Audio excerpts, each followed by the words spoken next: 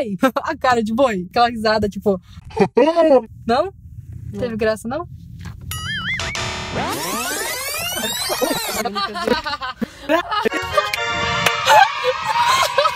foi bom, foi bom. Não, tá bem.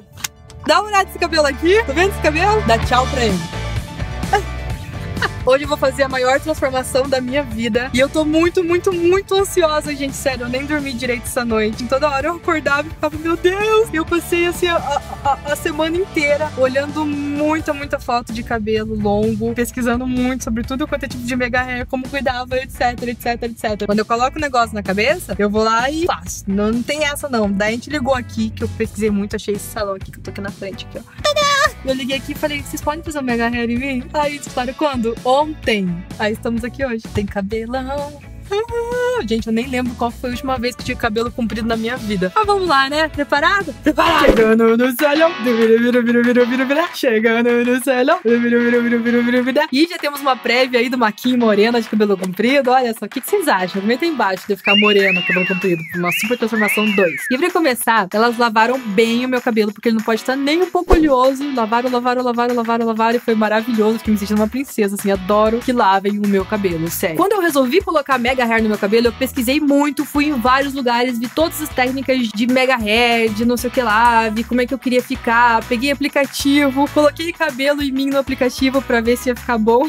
e eu escolhi essa técnica de mega hair justamente porque outras técnicas dariam muitas limitações. Então eu não poderia usar secador, eu não poderia fazer química, eu não poderia etc, etc, etc. Eu teria que ter um cuidado maior para lavar e eu sei que eu não ia ter esse cuidado. Então essa técnica que elas estão usando é de redinha. E as cabeleireiras do Versace elas têm um jeito diferente de fazer que fica muito mais firme, fica bem melhor e mais invisível. Justamente por isso que eu escolhi esse salão, sabe? Porque eu pensei assim, pô, eu vou fazer uma coisa diferente no meu cabelo, eu vou fazer uma mudança radical. Faz tanto tempo que eu não faço uma mudança radical em mim, né? E eu, claro que eu tenho que escolher alguém que seja muito bom. Então eu pesquisei, pesquisei, pesquisei, pesquisei. Vocês forem colocar também Mega Hair, pesquisem um lugar bom para não estragar o cabelo de vocês. E assim, eles são especialistas há mais de 20 anos. Eu falei, é neles mesmo. Liguei lá e falei, vocês podem fazer meu cabelo para amanhã? Eles falaram, posso. Então é aí mesmo que eu vou. Cheguei lá, começaram a colocar, eu passei a cor da tinta, tudo certinho um dia antes, pra eles já pintarem o mega da cor que eu queria, que foi um pouquinho mais claro que o tom do meu cabelo. Então ficou um ombre hair muito maravilhoso ali embaixo, tá vendo? Ó? Nem deu pra ver a diferença, mesmo eu não tendo pintado o meu cabelo. Meu cabelo se uniu ao cabelo natural, só que embaixo ele ficou com as pontinhas mais claras, assim, como se eu tivesse feito um super ombre hair. Eu fiquei muito, muito feliz, cara. Sério, e sem falar que o atendimento ali foi sensacional.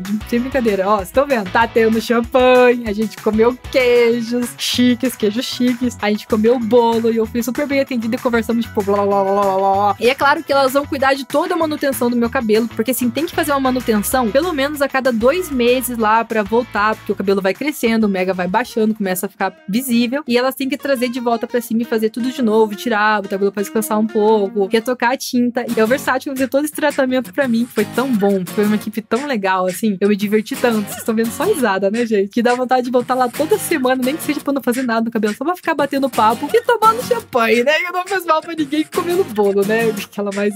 Só pensa em comer, né, gente? E é assim que ficou meu cabelo liso. Olha só. Cara, meu, eu olhava no espelho desse salão e eu ficava, não tô acreditando que isso tá acontecendo comigo. Faz mais de 10 anos que eu não tenho cabelo comprido. E eu tava me sentindo, tipo assim, uma deusa. Eu queria abraçar elas e dar um beijo na boca delas.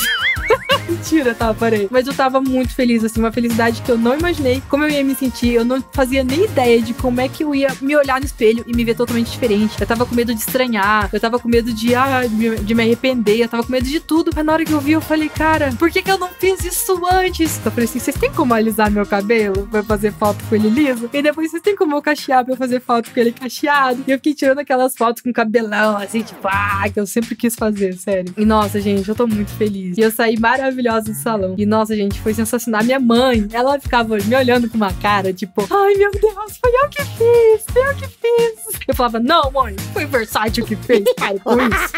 e assim, eu saí do salão, vocês tinham que me encontrar na rua na hora que eu saí do salão, porque eu saí assim, uh, que lavela na passarela.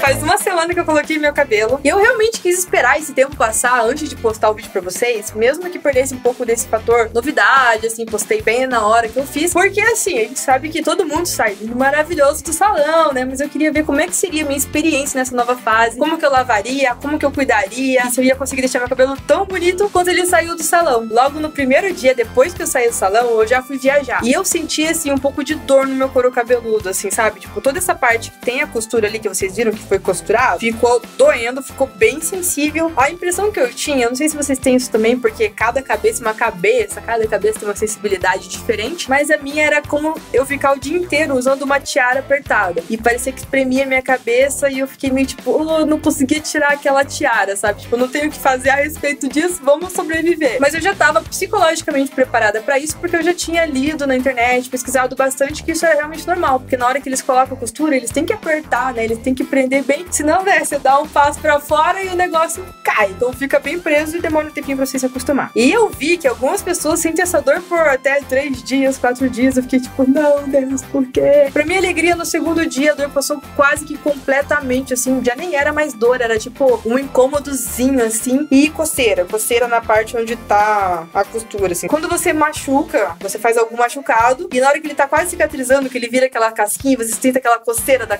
da casquinha, sabe que é? Era, era tipo isso que eu tava sentindo, e eu já fiquei feliz, né, porque foi só um pouco menos que um dia, tipo, algumas horas de, de dor, depois virou coceira, e é nóis. Uh, eu fiquei esses dois dias sem lavar o cabelo, porque eu queria aproveitar as minhas ondas, sim, era por isso mesmo, porque eu tava meio que tipo assim, ah, não vou lavar ele agora não, e tal, vamos esperar um pouquinho. Quando o meu cabelo quase caiu todo, e quase caiu todo é péssimo, né? Não, não, não. Quando os meus cachos já quase Quando meus cachos já tava quase caindo, eu tava liso, já tava virando aquele cabelo mais, tipo, tem que lavar, pelo amor de Deus. Porque, gente, eu costumo lavar o meu cabelo todo dia. Então, eu ficar três dias sem lavar o cabelo, talvez seja até aí o motivo da minha cabeça estar tá coçando. No terceiro dia foi o grande dia que eu estava muito ansiosa e lavei o cabelo, já estava em casa e o que eu percebi? Foi normal. Foi tipo assim: tem um negócio aqui que você sente, mas eu podia esfregar o couro cabeludo, assim, tirar todo o negócio assim, de boa, não teve problema nenhum. E eu estranhei muito a quantidade de cabelo. Porque antes eu usava tipo um tiquinho de shampoo, já lavava o cabelo todo, porque era uma micharia, né? Cabelo curto. Agora não, ia um pouco mais de produto e demorava muito mais tempo pra enxaguar. Assim, tipo, você ficava um tempão enxaguando o cabelo e parecia que tinha sabão ainda. Você ficava, meu Deus, como é que pode? É muito cabelo. Pra passar o condicionador também foi uma coisa que eu estranhei muito. Porque eu sempre gostei de pegar, tipo, mechinha, tipo, uma mechinha por mechinha e ir envelopando, de passar o creme e fazer isso aqui pra penetrar melhor o creme. E eu fui fazer isso aqui no cabelo, era tipo, cada mecha era meia hora fazendo isso aqui. Eu ficava, realmente agora eu tenho que colocar no meu cronograma o horário de tomar banho, porque antes eu conseguia lavar o cabelo tão rápido, agora parece que eu demoro uma eternidade. Mas tudo bem, sobrevive. Uma coisa que eu tinha pesquisado também antes, que eu sabia que para quem colocar esse mega aqui, ó, que é o costurado, ele fica com uma telinha, então ele fica meio abafadinho aqui. Então sempre que você for lavar, se você colocar também, você tem que secar. Pelo menos essa parte da telinha, tipo couro cabeludo. E é exatamente o que eu faço. Eu termino de tomar banho, lavo o cabelo, eu venho e seco só o coco, as pontas ficam tudo molhadas, ela seca naturalmente, seja o que Deus quiser e é isso, é nóis. Mas tem que secar isso aqui porque senão pode dar fungo, pode ficar úmido por muito tempo, essas coisas que acontecem. Até inclusive com quem não tem mega, né? Porque tem pessoas que têm cabelo comprido e já falam que tem que secar porque isso pode acontecer sim, porque o cabelo demora muito para secar e ele vai ficando lá, né? Pode dar ruim. E essa também era uma das partes que eu tava mais curiosa para saber como que ia funcionar, como que eu ia cachear o meu cabelo, deixar ele tipo Gisele Bündchen. E para minha surpresa, por mais que tenha demorado muito mais para lavar o cabelo do que demorava antes, para fazer babyliss no cabelo, eu achei que foi muito mais rápido e muito menos cansativo. Eu acho que talvez seja porque você consegue pegar mechas maiores e você enrola lá e, e eu não sei, foi muito mais prático e o resultado final no meu cabelo, depois do Babyliss, ficou muito mais bonito do que quando eu fazia com ele curto. Porque ele curto, se eu errasse, errei, entendeu? Tipo, tem que fazer tudo de novo. Agora parece que ele comprido, ele disfarça, ele se mescla, ele fica lindo de qualquer maneira. Se essa é uma preocupação de vocês para botarem mega hair, relaxa. Fazer Babyliss é uma maravilha. Pra dormir eu achei normal, não fez muita diferença não. Nos primeiros dias que doía, eu tinha que, tipo, deitar com jeitinho, assim, tipo, encaixar o um negocinho pra dormir. Agora eu já deito e durmo. Também tô trabalhando tão, tão cansado ultimamente que mesmo que fosse qualquer outra coisa, eu poderia estar com um martelo atravessado do lado até o outro e ia estar dormindo do mesmo jeito, né? Mas tudo bem, não vem o caso. O que eu estranho é porque ele fica, o cabelo fica enroscando tudo, assim, sabe? Porque antes o cabelo era pequeno, agora, tipo, ele entra no sovaco, agora que eu acordo eu tô, tipo, assim. Mas eu sempre gosto de, sei lá, tipo, jogar o cabelo pra cima quando eu tô dormindo, ou prender, ou faço uma trança, essas paradas que gente que tem cabelo comprido faz. Então agora eu tenho que fazer, normal. E é isso, gente. Eu tô muito feliz com esse cabelo. Eu sempre gostei do meu cabelo curto, sim. Tanto que se eu não gostasse, eu não ficava 10 anos com cabelo curto. Mas sabe quando chega aquela hora que você, tipo, você olha no espelho e fala, tipo, eu quero muito mudar, eu preciso disso. E já fazia um tempo que eu tava tentando. Já tentei pintar meu cabelo de rosa, já cheguei pra vocês no stories e falei, vou me transformar. Todo mundo na expectativa, a gente passou o rosa e não pegou, continuou vermelho. E eu cheguei, cheguei em casa assim, tão tipo, ah, sabe, tava lindo o cabelo, mas eu precisava dessa mudança. Agora, depois de tanto tempo sem o cabelo comprido, me deu um negócio, assim, sabe, que eu não sei explicar. Não é só um cabelo, é algo que sei lá, médico só psicológico, porque você começa a se sentir bem. Eu, eu, eu olhava no espelho, assim que ela tinha terminado de, de colocar meu cabelo, eu ficava tipo assim, meu Deus, sabe? Tipo, você se sente tão. Eu não sei, é, é que nem a gente foi viajar de carro. Eu parava nos lugares, assim, quando você desce do carro, podia estar com a cara tudo cagada, sem maquiagem nenhuma, mas meu cabelo tava tipo assim. Eu me sentia, tipo, sei lá, Gisele Bündchen, assim, tipo, oh, yeah, não sei o que lá, sabe? Eu tava me sentindo ótima. E é algo que me deu confiança pra tudo, assim, tipo, até pra eu estar aqui falando com vocês, eu me sinto mais confiante, eu me olho no espelho, me sinto mais feliz. Eu, eu, eu não sei explicar pra vocês o que, que eu sinto, assim, sabe? Mas é emocionante. É muito bom você olhar no espelho e se sentir poderosa. Isso dá um up na sua autoestima. Isso é muito bom. Eu não me arrependo em nada. Então, se você que tá me assistindo também e você tem vontade de fazer alguma coisa, faça. Principalmente o Mega. Principalmente esse Mega que eu super recomendo pra vocês. Porque assim, é costurado. Pra tirar, se você colocar e falar assim, ah, não me acostumei, preferia curto, você volta no salão, elas vão lá e tiram, entendeu? Então não tinha nada a perder mesmo, coloquei. E agora, sinceramente, eu não consigo me imaginar com cabelo curto de novo. Tipo, tá falando aqui, o cabelo tá batendo no braço. Então, tipo, você tem que colocar pra vocês entenderem, sabe? Tipo. Meu cabelo tá batendo braço. Se você tem problema com autoestima, se você quer dar uma mudada, faça. Não, não pense duas vezes, porque você já tá com baixa autoestima, pior que tal, não vai ficar, não é mesmo? E se você tá maravilhosa, se você é kid, se você conhece alguém que tem baixa autoestima também, que precisa dar uma mudada, então mostre esse vídeo pra ela. Fale, olha, quem sabe não é a solução, sei lá, quem sabe não vai te deixar mais feliz. Então é isso, gente. Espero ter ajudado, espero que vocês tenham gostado do meu cabelinho novo. Dá like aí, um beijo, tchau. Bater agora.